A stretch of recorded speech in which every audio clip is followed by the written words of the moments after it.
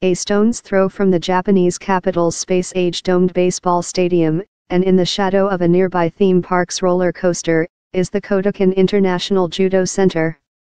From the lobby, it appears like any of Tokyo's countless high-rise buildings.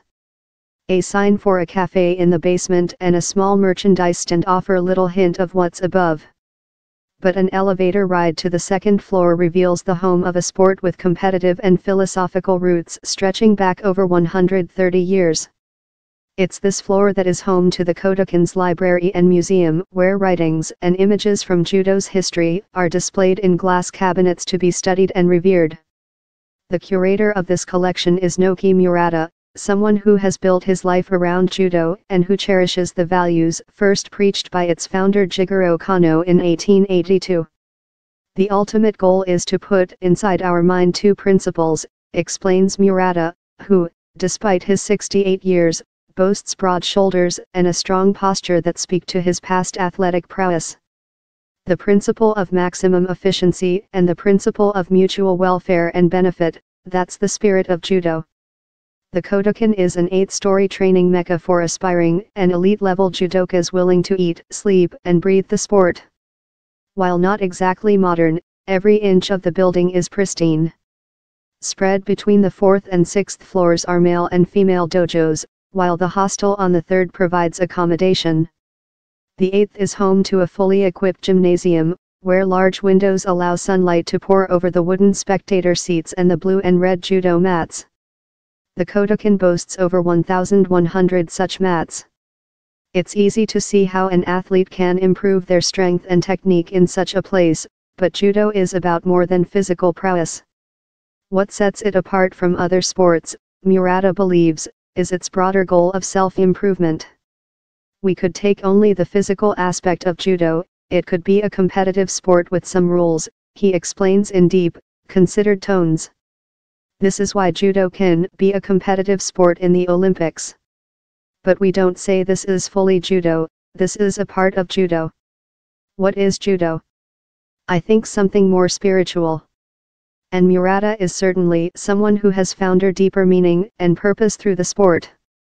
A promising tennis player during his junior high school years in Tokyo, and a strong sumo wrestler, Murata was drawn to judo when he saw his friends practicing in the sports hall he joined a local club and, after a couple of months of training, was able to defeat his friends in a judo tournament organized by local schools. Spurred on by this early success, Murata eventually put down his tennis racket and wholeheartedly pursued the gentle way. As a young man, he enjoyed how judo enhanced his natural strength. He aspired to be like Isao Inokuma, a heavyweight gold medalist during the sport's first Olympic appearance at the Tokyo Games of 1964. His dedication to the sport saw him advance to the elite level of 8th Dan and led to his appointment at the Kodokan. The institute has sent him on coaching missions all over the world, including numerous stints as an instructor in Europe. As well as increasing his strength and broadening his horizons, Murata credits judo with making him a more thoughtful person. Think and do, think and do. That's his mantra and something he repeats over and over again. To him, it perfectly illustrates how to succeed in judo and in life. Make a plan. Execute. Make a new plan. I became a person who took time to think deeper than before judo, he explains. Thinking how I should be better. When I don't succeed, I should consider again. Your personality changes, and I'm very happy because of that. And still I keep the same idea. More active. More active. More active. And it is the positive actions of dedicated individuals like Murata that have made judo a truly global sport. A record 389 competitors from 136 countries qualified for the Rio 2016 Olympic Games, while figures from 2014 claim there are 28 million judo practitioners around the world with 8 million in Japan alone. This global expansion has created judokas all over the world, with judo's inclusion in the Olympic program allowing youngsters to dream of winning sport's ultimate prize. But while judokas of Murata's generation saw judo as both a sport and a way of life, the prospect of a gold medal and wider competitive success is now the overriding motivation for up and coming athletes. This is not bad, Murata insists. But I think Jigoro Kano would be feeling very sad if all Japanese think of judo as a sport only the current custodians of Japanese judo are only too aware of the importance of success on the mat when the World Championships and the Olympic Games arrive on Japanese soil in 2019 and 2020 respectively. Kosei Inoue was an Olympic champion in 2000 as well as a three-time world champion between 1999 and 2003. Now he is head coach of the Japanese men's team and responsible for maintaining his country's formidable record in global competition. Japan took home 12 judo medals from Rio, 7 more than any other country. Read, judo is similar to life itself. I believe that the more you win, the more you have to lose, Inoue told News Total at the 2017 World Championships in Budapest, where Japan dominated the medal table with 8 golds. Japan has many good practitioners, but their journeys are just beginning. It is one thing to win just once, and quite another to continue winning.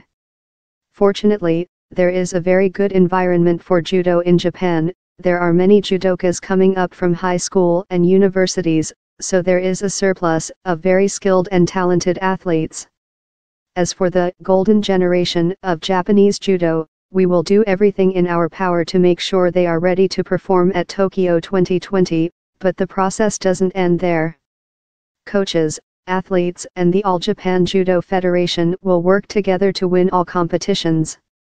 As part of the organizing committee for the Tokyo 2020 Games, Yasuhiro Yamashita is a Japanese Olympic legend banking on the current generation emulating his success. And while both he and Inoue are keen to stress the importance of Jigoro Kano's teachings, the soul of judo may have to take a backseat while the pursuit of golden glory is placed center stage in the coming years. Read, Legends of Judo, Yasuhiro Yamashita. As a child, I watched judo competition at the 1964 Tokyo Games on TV and I was deeply moved by their performances, says Yamashita, who claimed a gold medal at the 1984 Olympic Games and is a bona fide sporting icon in his homeland. I dreamed of stepping on top of the podium and singing the Japanese anthem. It was my lifelong goal, realizing my dream at the Olympic Games in Los Angeles was a very emotional moment. I fully trust Mr. Inoue as men's head coach and Mr. Masuchi as women's head coach to lead the team to a great success, he adds.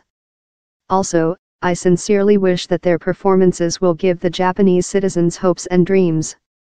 As the president of the All Japan Judo Federation I will do everything in my power to have Japan host spectacular events in 2019 and 2020 and while Inoue and Yamashita drive Japan's competitive ambitions, people like Murata make sure its soul is protected.